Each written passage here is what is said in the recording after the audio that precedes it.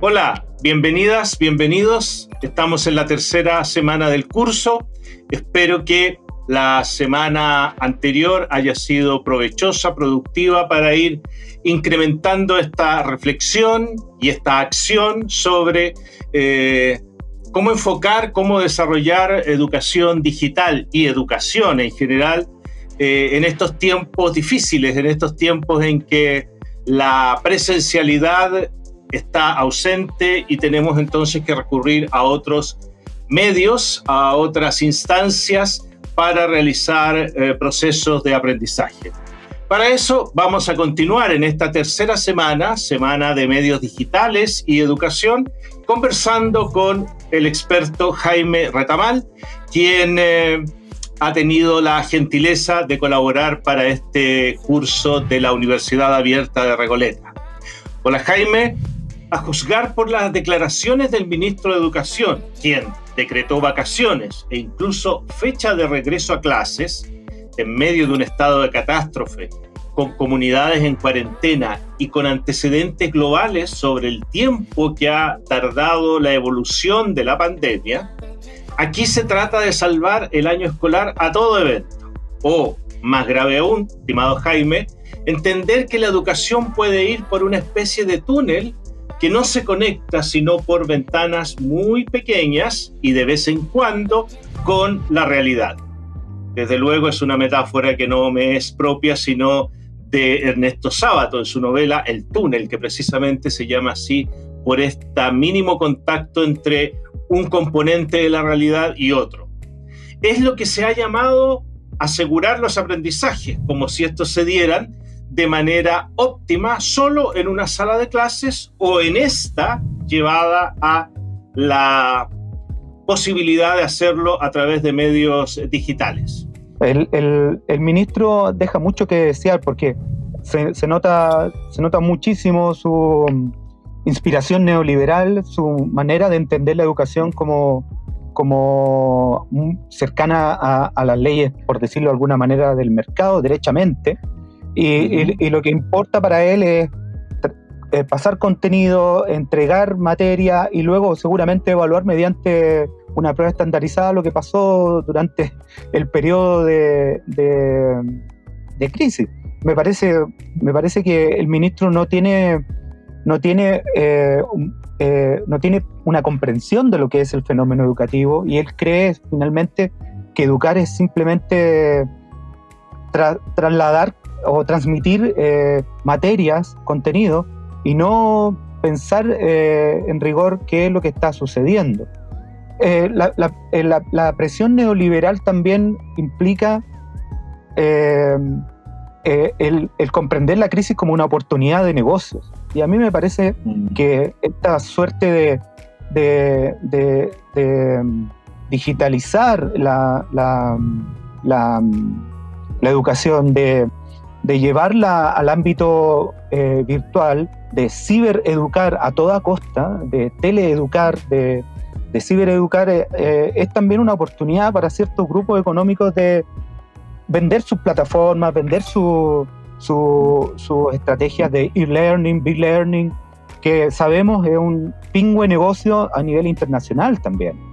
No nos olvidemos que también que, también la mirada neoliberal de la educación es también una, una mirada mercantilista y esta es una extraordinaria oportunidad para decir, para decir oh, necesitamos 5G, eh, necesitamos educación virtual, necesitamos, eh, te ofrecemos esta plataforma, te ofrecemos esta oportunidad.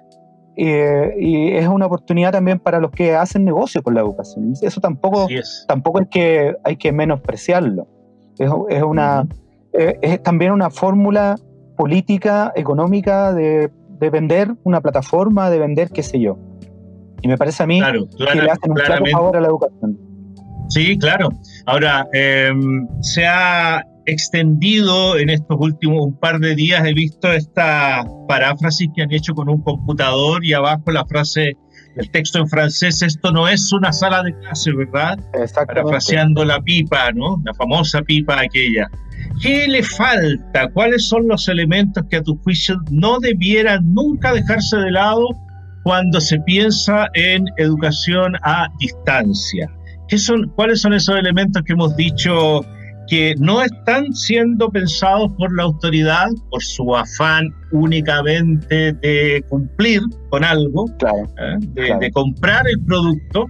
Eh, ¿Qué le falta? ¿Qué, recomendación harías tú? Estamos hablando aquí de, en este momento en el curso tenemos aproximadamente 3.000, 3.300 participantes, eh, incluidos participantes de, otros países de Latinoamérica y de buena parte de Chile. Em, ¿Qué decirles, qué aconsejarles respecto a algunos elementos, algunas variables que permitan mejorar el aprendizaje efectivamente a través de recursos mediales como la tecnología? Que como tú dices muy bien, además, no debemos nunca entender la tecnología como algo neutro. No es neutra de ninguna manera, siempre hay un interés detrás, ¿no?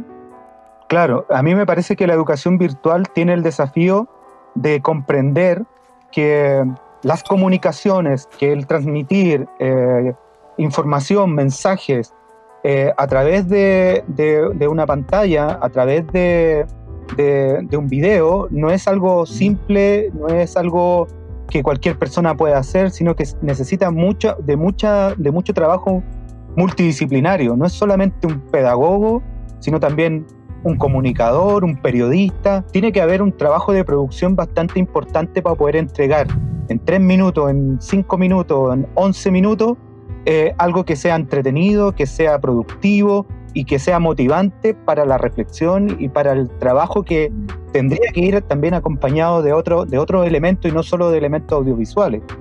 Me parece a mí que eh, el trabajo en, eh, la, ciber, en la cibereducación efectiva es aquella que combina múltiples disciplinas y que puede también eh, llevarte a hacer cosas eh, en, tu, en el medio en el cual tú vives.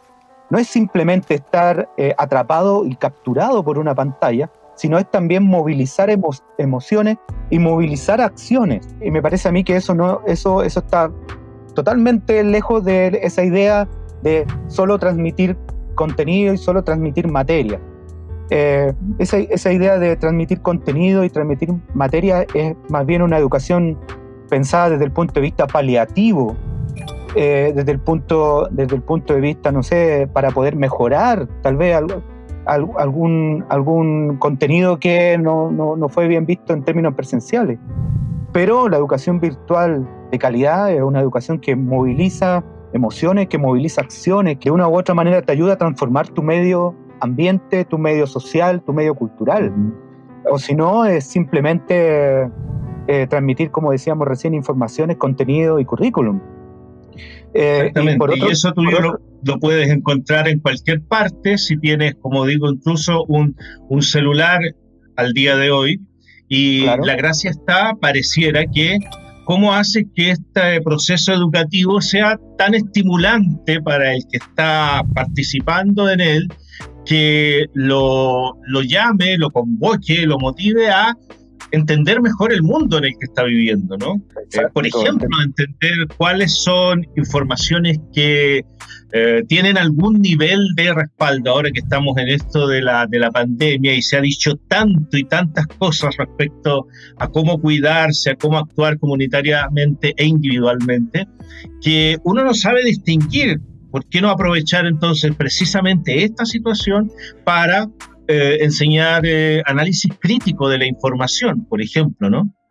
Claro, y parece que el, discurso eh, mediático se ha ido siempre, ha ido siempre de la mano de o me gusta o no me gusta. Y parece que el, contenido más bien crítico es poder ver en lo que me gusta y ver en lo que no me gusta elementos que de una u otra manera yo puedo, puedo criticar y puedo puedo ayudar a transformar en el lugar en el que estoy.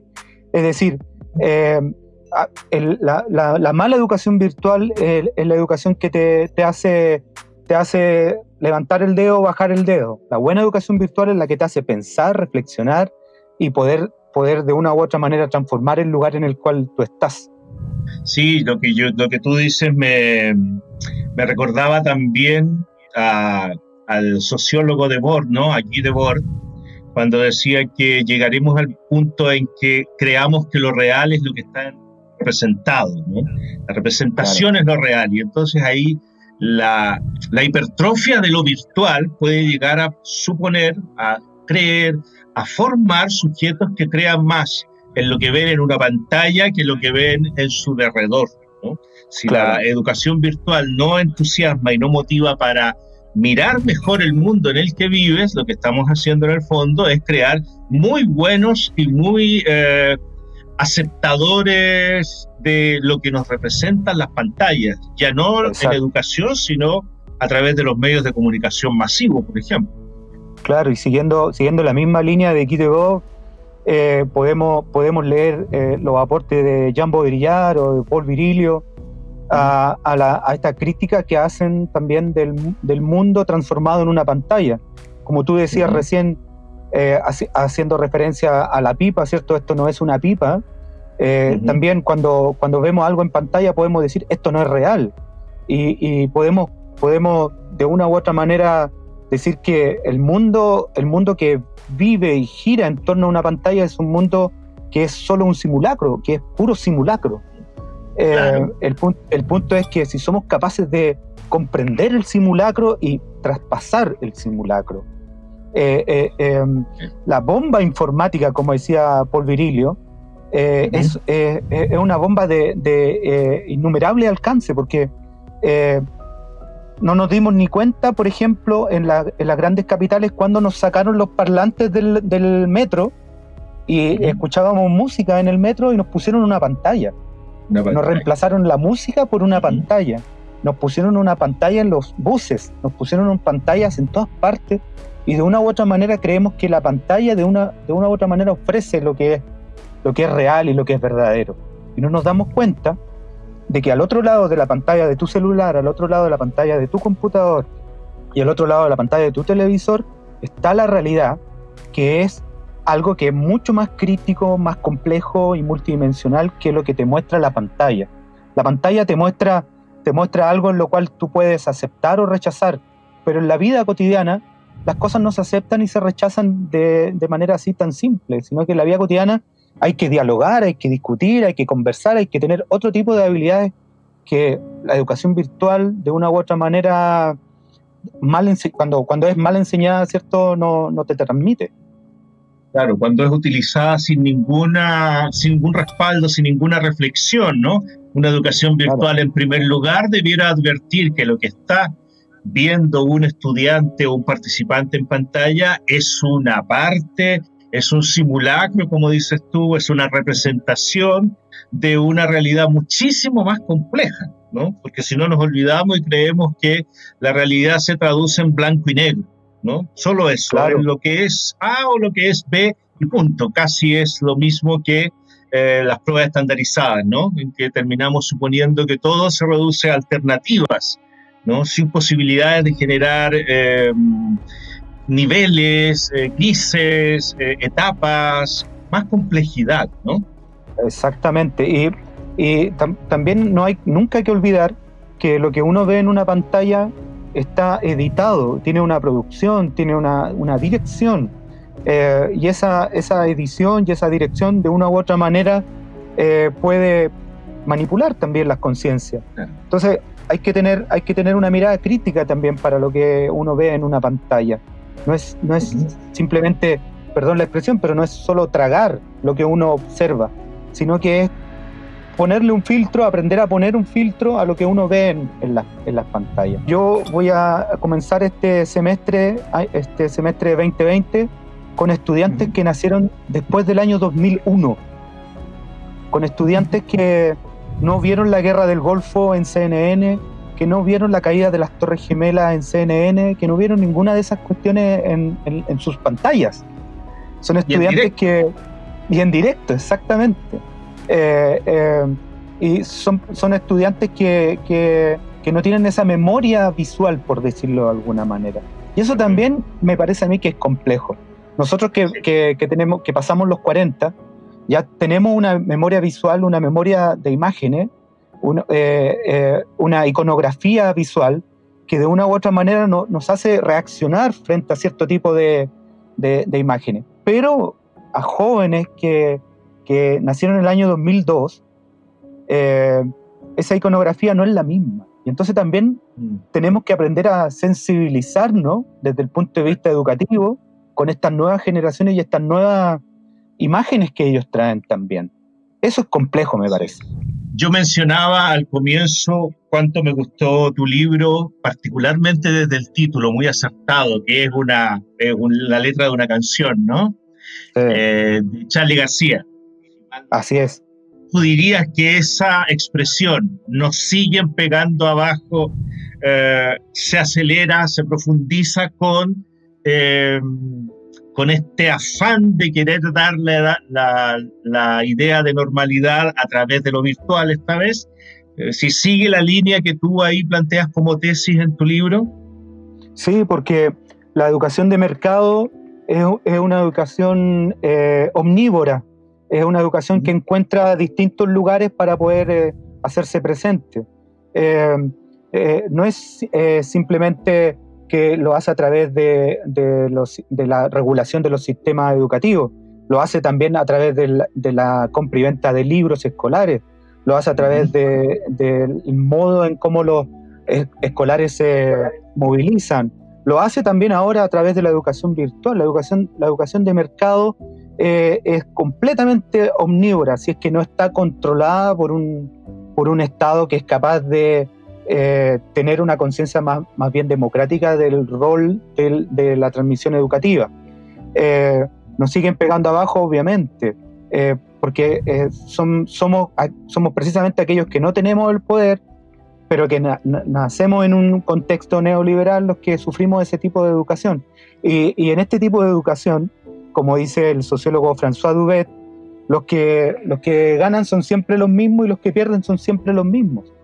Es decir, eh, este tipo, la educación de mercado lo que hace es profundizar una lógica de clases, donde, donde los que están en, una clase privilegiada van a recibir más y los que están en una clase que no es privilegiada van a recibir menos por el simple hecho de que tienen mayores recursos económicos. Y eso no puede, no puede ser. Entonces, en, esta educación, como decíamos, en esta educación de mercado virtual, eh, claro, claramente eh, el, remate de la canción nos siguen pegando abajo es aquello que podríamos decir eh, es el subtítulo o es el gran título de lo que está hoy en día ocurriendo. Así es. Me parece pertinente recordar que la hegemonía neoliberal en la educación chilena se fragua desde el inicio mismo de la dictadura y alcanza su proyección definitiva en dos ámbitos, ¿verdad? Por una parte, en la disposición de la Constitución de 1980 y en la LOCE, la Ley Orgánica Constitucional de Educación, promulgada, curiosamente y muy intencionadamente, a horas de que terminara la dictadura. Un enfoque que se ha mantenido en el Chile que hemos llamado el Chile transicional, sin cambios, acentuando así la educación como un producto de mercado y no como un derecho. Por ejemplo, la rebelión social, desde el 18 de octubre del año pasado, por lo mismo, ha incluido este cambio como una de las reivindicaciones para un país más justo. Vale decir, la educación como derecho, ¿no? la educación como un factor muy relevante para entender que junto a la salud, la vivienda y otros componentes de la vida personal y comunitaria son indispensables para asegurar una sociedad más justa, más solidaria, más equitativa.